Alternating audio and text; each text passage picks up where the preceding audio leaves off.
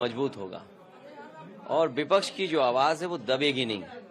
और वहीं कई महत्वपूर्ण सवाल हैं जो चुनाव में जनता के बीच में रखे गए थे। सबसे बड़ा सवाल यह अग्निवीर की नौकरी का। समाजवादी पार्टी कभी भी अग्निवीर व्यवस्था को स्वीकार नहीं कर सकती है। फौज की नौकरी बढ़े, नौजवान वर्दी पहन करके सीमा की रक्षा करना चाहता है। उसको मौका मिले ज़्यादा से ज़्यादा नौकरियाँ बढ़ें। पहले लाखों में नौकरी मिलती थी फौज की। इन्होंने हज़ारों में कर दी है।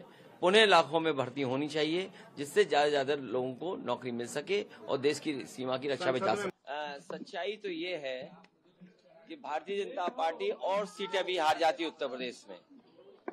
भारतीय जनता पार्टी और भी सीटें हारती उत्तर प्रदेश में। आप जब अयोध्या का नाम ले रहे हैं, अयोध्या की जनता का मैं धन्यवाद देता हूँ। अयोध्या की जनता का दुख दर्द आपने भी समय समय पर देखा होगा। उन्हें जो उम्मीद थी वहाँ की जनता को, जिस तरह के सरकार का काम काज था, लोगों को मुआवजा नहीं दिया सही ज़मीन का, लोगों के साथ अन्याय किया, आपने मार्केट की कीमत से जमीनें नहीं ली उनकी।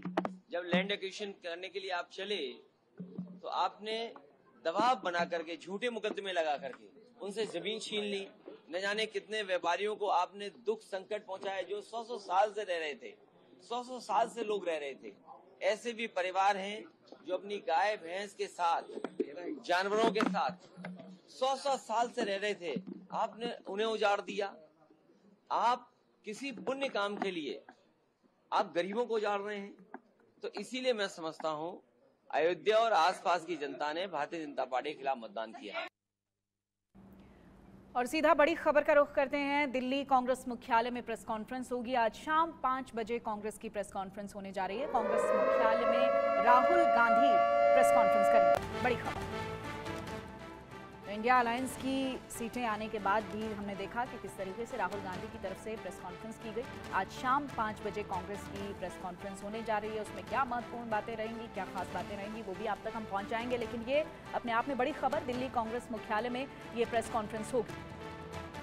शाम पाँच बजे राहुल गांधी किस तरीके की स्ट्रेटेजी के साथ आते हैं, क्या बात करते हैं, ये देखना महत्वपूर्ण रहेगा क्योंकि समय भी अपने आप में बहुत महत्वपूर्ण है और इंडिया अलायंस के प्रदर्शन से इस वक्त जो अलायंस में जुड़ी पार्टियाँ हैं, उनका आत्मविश्वास भी दोगुना हो गया है। तो ऐसे में राहुल गांधी भी बड़े कॉन्फिडेंट बॉडी लैंग्वेज के साथ नज़र आ रहे हैं। अब दिल्ली कांग्रेस मुख्यालय में प्रेस कॉन्फ्रेंस होगी। क्या महत्वपूर्ण बातें उनकी तरफ़ से कही जाएँगी, देखना होगा। और उत्तर प्रदेश में राज्य मंत्री स्वतंत्र प्रभार और लोकसभा चुनाव में बीजेपी उम्मीदवार रहे दिनेश प्रताप सिंह ने कहा है कि राहुल गांधी की जीत कांग्रेस की नहीं, बल्कि समाजवादी पार्टी और सपा के राष्ट्रीय अध्यक्ष अखिलेश यादव की जीत है। इस जीत में सोनिया गांधी, प्रियंका गांधी और कांग्रेस का कोई योगदान नहीं। लोकसभा चुनाव को लेकर यूपी में कांग्रेस ने गारंटी कार्ड जारी किया था और इसके लिए बाकायदा महिलाओं को एक लाख रुपए सालाना देने की घोषणा की थी, जिसके बाद कई महिलाएँ ऐसी हैं जो रजिस्ट्रेशन के लिए पहुँची थी। क्या पूरा मामला था? आ, हमारे साथ जो कांग्रेस पार्टी के यूपी के उपाध्यक्ष दिनेश सिंह जी बात करेंगे। सर कुछ महिलाएँ पहुँची थी कांग्रेस पार्टी ने दावा किया था एक लाख महिला दी क्या वो पूरा मामला था? और कल जो महिलाएँ पहुँची थी उसका क्या क्या किस्सा है? यार देखिए ये हमारे मैनिफेस्टो में जो घोषणा थी उसी का सारांश था ये कि जो हम लोगों ने गारंटी पत्र जारी किए थे उसमें बातें रखी गई थी। हम लोगों को घोषणा की थी कोई छिपी हुई बात तो थी नहीं। और ये गारंटी कार्ड उत्तर प्रदेश ने क्या पूरे हिंदुस्तान के करोड़ों लोगों के पास पहुँचा था और तो यहाँ पे भी पहुँचा होगा तो कुछ मोहल्ले से लोग जमा करने के लिए और कुछ महिलाएँ यहाँ पे कुछ गारंटी कार्ड भरने के लिए, लेने के लिए आ रही थी। बस सिंपल सी बात थी। उसको मीडिया ने किस तरह से उसको प्रस्तुत किया ये मैं क्या बताऊँ? मतलब बहुत ही मतलब अफसोसजनक बात है। और वो मेरे पास बहुत सारे कार्ड लेकर के उन्होंने जमा किया ला करके और हमारी सरकार बनती और मेरी बहुत ही खुली हुई घोषणा है। हमारे सारे नेतृत्व ने इस बात को बोला था। तो कोई ऐसी बात तो थी नहीं उसमें। और ये मीडिया में कैसे अब जा कर के इशू बना कि महिलाएँ आई थी कार्ड लेने के लिए, या महिलाएँ कार्ड जमा करने आई थी, जब इसकी ज़रूरत थी कि पार्टी घोषणा कर रही थी, इसको ले जाते लोग ज़्यादा, इतनी शानदार घोषणाएँ किया था हमारे नेतृत्व ने, इतना शानदार मैनिफेस्टो था, तब तो किया नहीं। अब जब चुनाव खत्म हो गया है, सरकार बनने की तरफ़ चीज़ें बढ़ रही हैं अब आगे क्या होगा कौन जानता है फ्यूचर क्या है हिंदुस्तान का कि लेकिन हमारा घोषणा पत्र हिंदुस्तान के फ्यूचर का घोषणा पत्र था। और आप ये आए तो उसको इस तरह से सकारात्मक रूप से कोई देखता ये नज़रिया मीडिया का भी होना चाहिए था। लेकिन इस नज़रिए के बजाय क्या नज़रिया पेश किया गया ये बहुत ही ये भी दुर्भाग्यपूर्ण कहा जा रहा है कुछ महिला रजिस्ट्रेशन के लिए यहाँ पहुँची थी। हाँ, कोई आएगा यार ये ऑफ़िस है किस लिए है? ये ऑफ़िस तो ये कोई और चीज़ के लिए है नहीं ना? यहाँ पे तो भविष्य तय होता है ना उत्तर प्रदेश का। यहाँ से हम लोग चीज़ें तय करते हैं या निष्कर्ष निकालते हैं कि हिंदुस्तान को या उत्तर प्रदेश को किस रास्ते पर आगे ले जाना है। तो यहाँ पे तो लोग आएँगे ही और जितना ही लोग आएँगे, जितनी ही चर्चा होगी, उतना ही अच्छी बात है। और हम निश्चित रूप से एक सृजनात्मक राजनीति करते हैं। हमारे नेता राहुल गांधी ने, मल्लिकार्जुन खड़गे जी ने इस देश के भविष्य का घोषणा पत्र प्रस्तुत किया है। तो उस पर व्यापक चर्चा है और इस चर्चा से किसी पेट में दर्द हो रहा हो और कोई नकारात्मक बात कर रहा है तो वो जाने।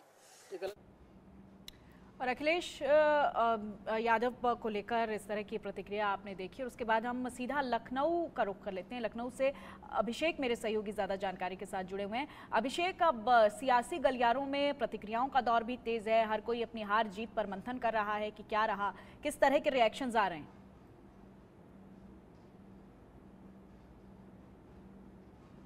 भी राजनीतिक दलों की तरफ़ से एक के बाद एक प्रतिक्रियाएँ तेज़ी से आ रही हैं। खासतौर पर भारतीय जनता पार्टी या फिर कांग्रेस और समाजवादी पार्टी की बात की जाए उत्तर प्रदेश में तो उनकी तरफ़ से कई सारी बातें आ रही हैं खुलकर सामने। कांग्रेस की तरफ़ से ये कहना है कि उनकी तरफ़ से गारंटी कार्ड जो थे वो उनके मैनिफेस्टो का पार्ट था। अखिलेश यादव कह रहे हैं कि मज़बूत विपक्ष की भूमिका में रहेंगे विरोध करेंगे जो काली नीतियाँ थी सरकार की जो पिछली सरकारों में लगाई गई उनका विरोध करेंगे। और आज पाँच बजे जब राहुल गांधी प्रेस कॉन्फ्रेंस करेंगे तो कई सारी बातें और खुलकर सामने आएँगी। लेकिन जो लब्बो लुबाब है, उत्तर प्रदेश में अब समीक्षा का दौर जारी हो चुका है। खासतौर पर भारतीय जनता पार्टी की बात करी जाए तो कल भी मुख्यमंत्री योगी आदित्यनाथ के आवास पर एक बैठक थी।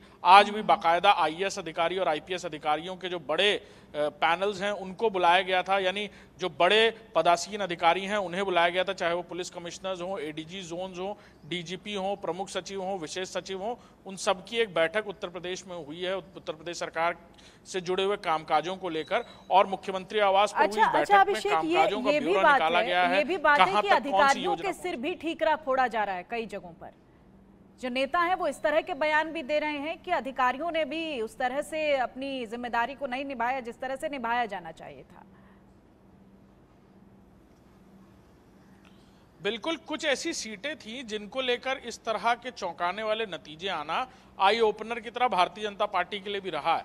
और शायद यही वजह है कि वहाँ पर सरकार द्वारा चलाई जा रही फ्लैगशिप योजनाओं के बावजूद नकारात्मक नतीजे आना कहीं ना कहीं योजनाओं से जुड़े हुए अधिकारी कहीं ना कहीं योजनाएँ ग्रास रूट लेवल पर जनता तक पहुँची या नहीं इस पर सवालिया निशान खड़े कर रहा है।